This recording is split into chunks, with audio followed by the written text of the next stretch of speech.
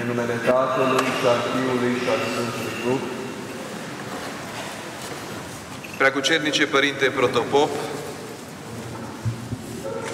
Preacuvioase Părinte Stareț, Preacuvioși și preacucernici părinți, domnule comandant, iubiți frați și surori.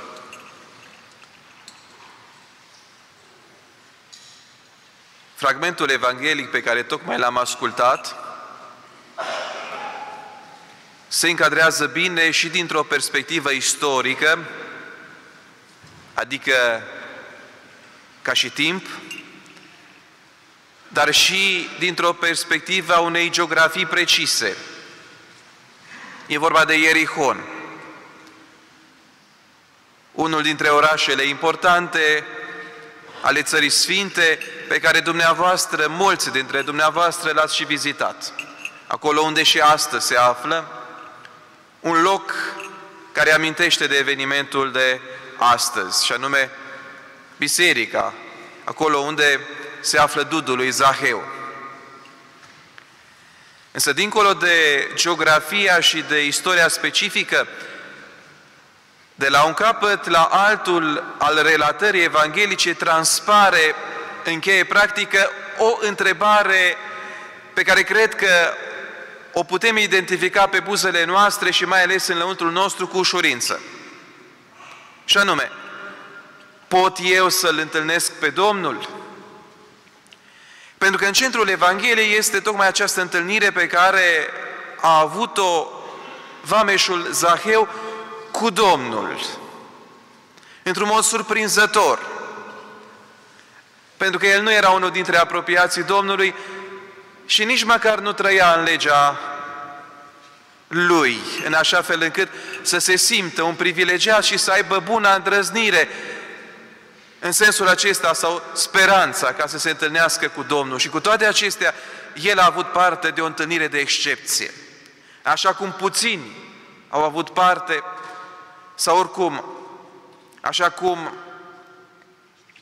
puțin dintre, puține dintre relatările din Evanghelie ne dau mărturie despre o posibilă întâlnire de intensitatea acelei a lui Zaheu pe care am ascultat-o sau despre care am ascultat relatându-se în Evanghelia astăzi. Așadar, întrebarea încheie practică pe care și eu aș pune-o astăzi este aceasta. Pot eu să mă întâlnesc cu Domnul? Și încercând un răspuns, ne vom uita împreună la pașii importanți pe care i-a parcurs Zaheu. Aș zice mai degrabă într-un mod inconștient până când a avut parte de această întâlnire minunată cu Domnul. Și aș identifica trei momente foarte importante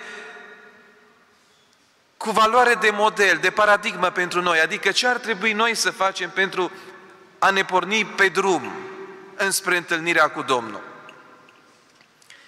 Și primul pas l-aș numi sub chipul acesta sau l-aș descrie sub chipul acesta. Ieșire dintr-o ale noastre. Sau, într-o terminologie mai modernă, a ne părăsi spațiul de confort. Ce înseamnă spațiul de confort? Sau cum se vede spațiul de confort în cazul lui Zaheu? Zaheu era un funcționar al regimului vremii.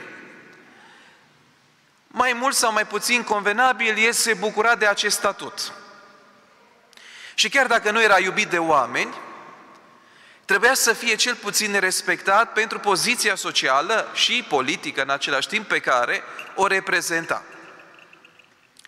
A rămâne în acest cadru, zicem, profesional, pentru el însemna un confort și o siguranță.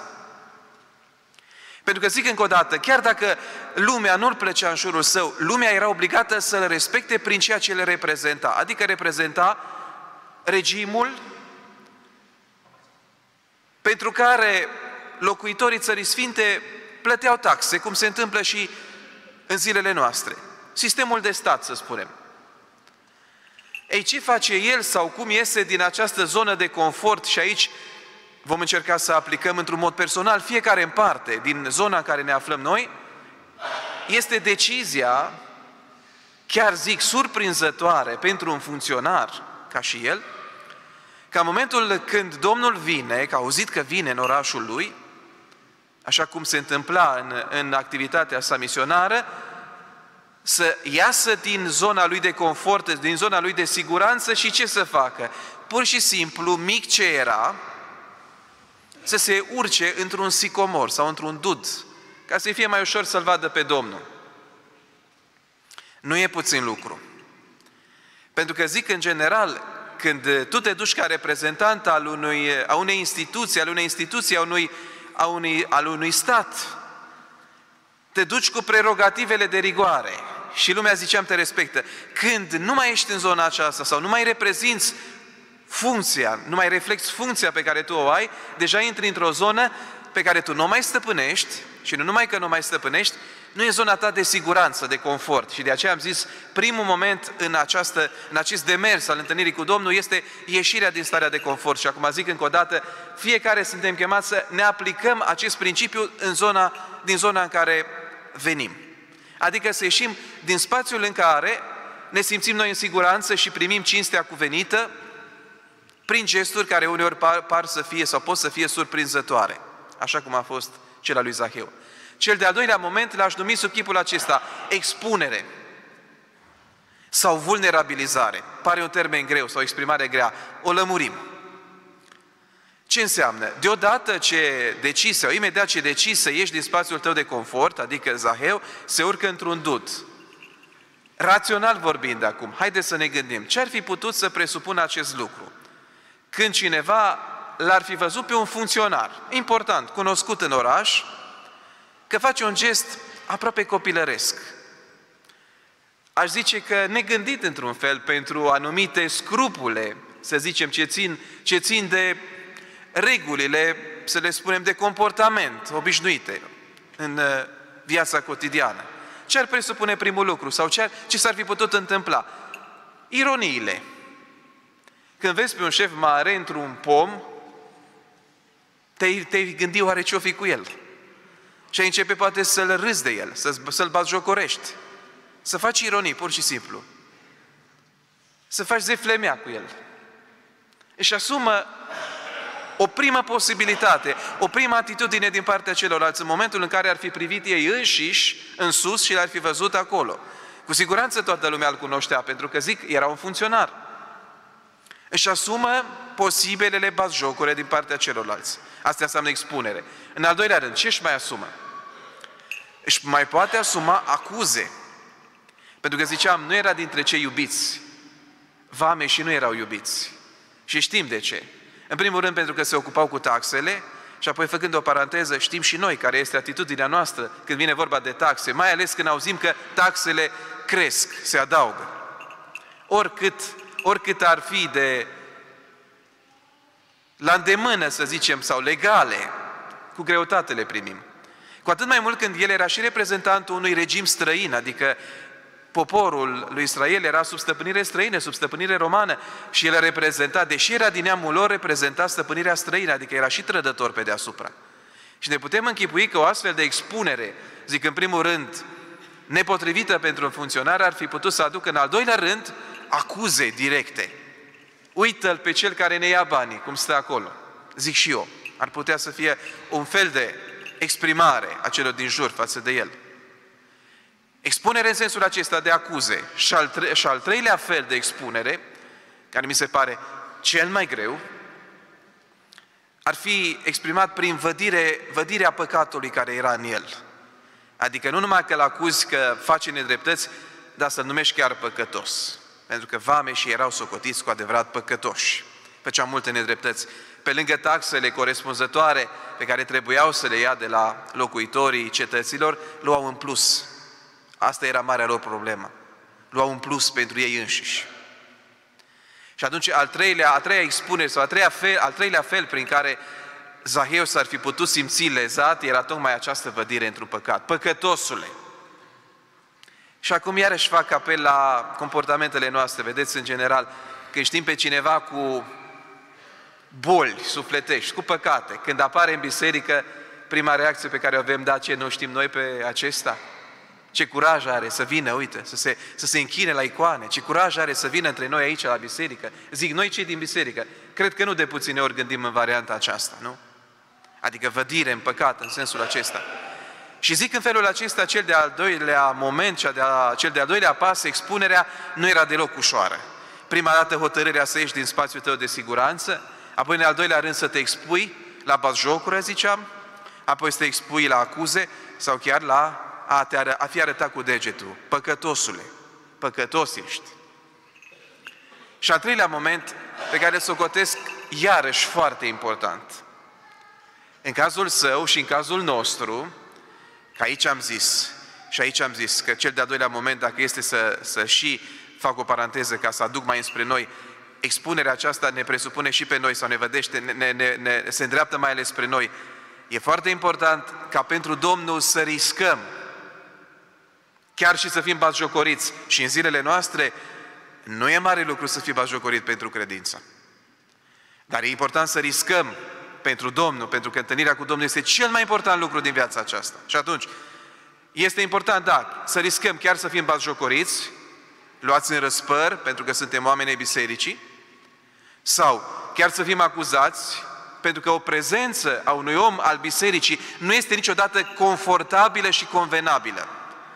Pentru că o prezență pozitivă, o prezență a unui om care încearcă să trăiască Evanghelia în viața sa, să, să o arate în viața sa, este o judecată permanentă pentru cel care nu o face. Fără să-i spună celui care nu o face, adică să-l vădească în starea lui de nedreptate, ci pur și simplu, prin felul său de a viețui, este o, o judecată permanentă și de aceea o astfel de persoană nu este convenabilă și confortabilă în jur. Și în al treilea rând, de ce nu? Da, avem și noi păcatele noastre.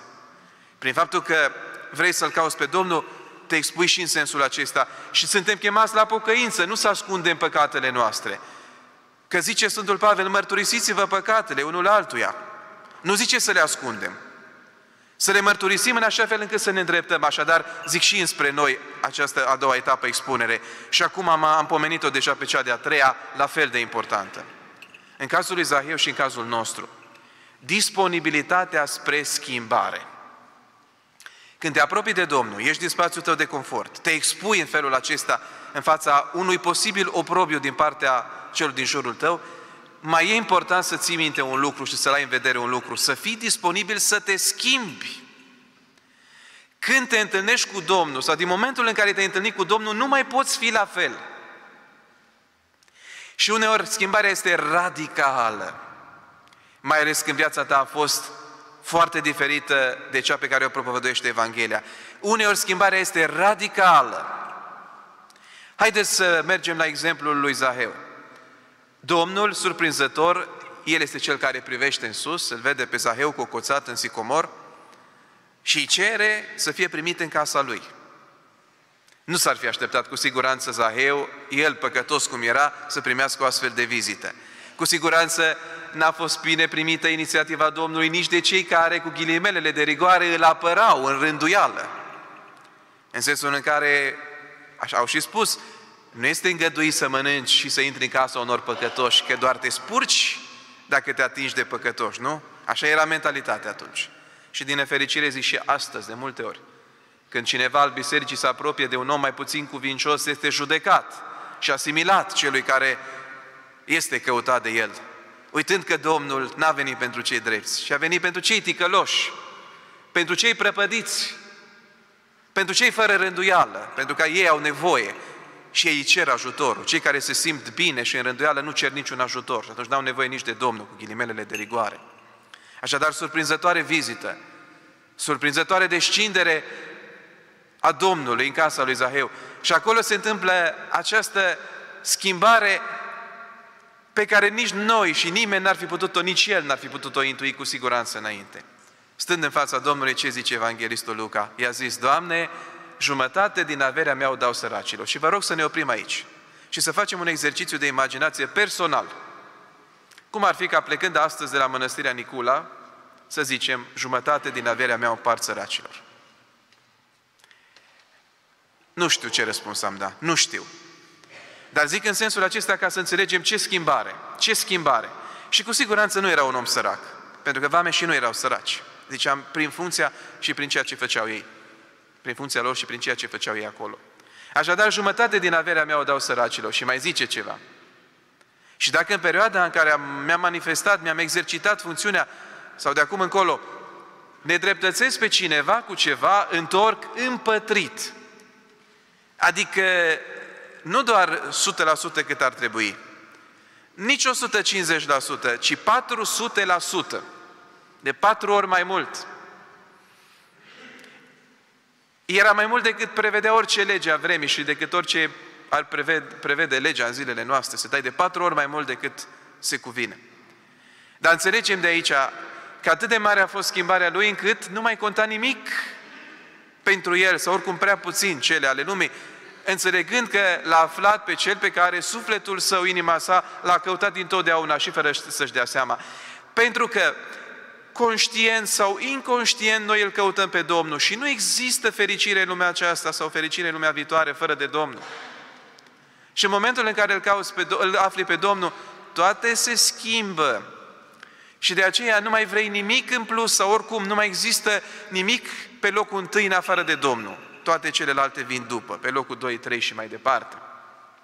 Așadar, disponibilitatea spre schimbare și schimbare radicală. Și acum pun o a doua întrebare pe care o las în suspans. Într-o cândva, sigur, există și răspuns pornit din Evanghelia de astăzi. Poate să se schimbe omul radical? Pentru că noi zicem în general că omul tot nu se schimbă, nu mai ales că suntem dezamăgiți de cei din jurul nostru. Bine ar fi să fim dezamăgiți de noi înșine, dar suntem dezamăgiți de cei din jurul nostru că nu se schimbă. Zicem noi nu se schimbă, orice ai face omul nu se schimbă. Și zic încă o dată, poate să se schimbe omul radical, dar mai mult decât atâta. Poate să se schimbe omul dintr-o dată? Omenește am zice nu. Din Evanghelie înțelegem că da, se poate întâmpla lucrul ăsta cu o singură condiție, ca omul să-L întâlnească realmente pe Domnul. Și mai pomenesc încă o dată acei trei pași, în sensul acesta a unei aplicabilități concrete în viața noastră, și sinteze, încercând să concluzionez cuvântul de învățătură de astăzi. Putem noi să-L întâlnim pe Domnul? Pornind de la exemplul lui Zaheu, putem. Și ce presupune acest lucru? Mai întâi, să ieșim din zona noastră de confort, zona noastră de siguranță, în așa fel încât să ne manifestăm dorința de a face pași înspre Domnul, apoi, în al doilea rând, să ne expunem, să nu ne fie teamă prin manifestarea și mărturisirea credinței noastre, să primim oprobiul celor din jurul nostru, zic sub, semn, semnul, sub forma aceasta, al bazjocurei, al acuzelor sau chiar al vădirii în păcatul pe care îl, îl trăim, iar în al treilea rând să fim disponibili, să fim disponibili la schimbare. Și în felul acesta ne întâlnim, sau putem și noi să ne întâlnim cu Domnul și în momentul în care ne întâlnim cu Domnul, toată viața noastră se schimbă. Îi mulțumim lui Dumnezeu pentru această liturghie frumoasă, tehnită, sub uh, umbra binefăcătoare a Maicii Domnului de la Nicula, sau mai bine zis, în brațele Maicii Domnului de la Nicula. Și dacă termenul cheie al uh, Evangheliei de astăzi și al cuvântului de învățătură după Sfânta Evanghelie a fost întâlnirea, sau dacă putem noi să-L întâlnim pe Domnul, credem cu tărie că la fiecare Sfântă Liturghie avem această șansă, în mod deosebit, să ne întâlnim cu Domnul. Pentru că Domnul ni se dă de pe Sfânta Masă trup și sânge, spre a ne hrăni și a avea viață noi și Domnul ni se dă sub chipul cuvântului, ca și proclamarea Evangheliei, pentru că Domnul a zis nu numai cu pâine va trăi Fiul omului, ci cu tot cuvântul care este din gura lui Dumnezeu. Cuvântul lui Dumnezeu este Dumnezeu întrupat într-un, între noi și într noi și în același timp Dumnezeu întrupat sub chip de trup și sânge prin Sfânta Euharistie pe care noi le primim la Sfânta Liturghie. Așadar, sub cele două forme, ne întâlnim cu Domnul într-un mod de plin, ca și cuvânt și ca trup și sânge în Sfânta Euharistie, pe care preotul în numele Domnului ne oferă cu generozitate, ca să ne hrănim și să avem viață. Și Domnul zice, cine mănâncă trupul meu și bea sângele meu, are viață în el. Dacă vrem să avem viață, ținem aproape de Cuvântul lui Dumnezeu și de Sfântul Altar, care este Sfânta Liturghie. Și apoi venind, sau mergând mai departe, pentru ceea ce s-a întâmplat și pentru faptul că am, ne-am întâlnit cu Domnul în mod atât de solemn și de frumos, credem că Domnul ne dă daruri și ne face să ne simțim bine și întâlnindu-ne unii cu alții. Pentru că orice sărbătoare înseamnă întâlnire sau se trăiește ca întâlnire și orice întâlnire cu oamenii dragi se vede ca o sărbătoare. Și sărbătoarea a fost astăzi la Mănăstirea Nicula pentru că ne-am întâlnit unii cu alții și toți împreună cu Domnul nostru Isus Hristos, care vine înspre noi. Noi venim înspre El, la fel cum a făcut Zaheu, dar până la urmă Domnul este Cel care ne cere să ne pogorâm din mândriile noastre înspre El, care este smerit, și să-și facă locaș și să-i facem locaș în inimile noastre și să nu mai plece de acolo niciodată. Astăzi ne zice Domnul și nouă, vreau să rămân în casa ta. Răspunsul este unul personal pe care îl dăm noi fiecare, fiecare în parte Domnului, dacă vrem ca El să rămână sau să nu rămână. Noi credem că toți cei care au venit astăzi la Mănăstirea Nicula vrem ca Domnul să rămână în viața noastră și spunem și individual, dar și împreună, vrem, Doamne, ca Tu să vii astăzi și în casa noastră.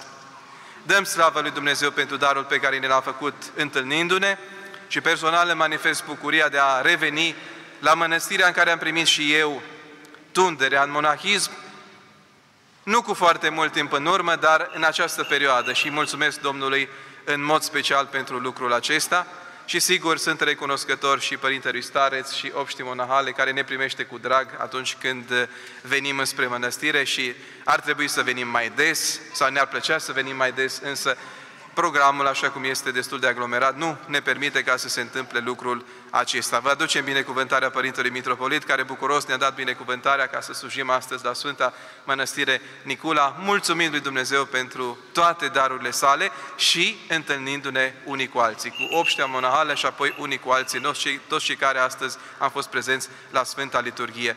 Pe ele rugăm să vină și în casele noastre, să vină și în casele dumneavoastră, și avem această nădejde că vom ști să prețuim vizita pe care El ne-o face și îi vom spune, rămâi cu noi pentru toată viața noastră de acum încolo. Amin. La mulți ani cu sănătate!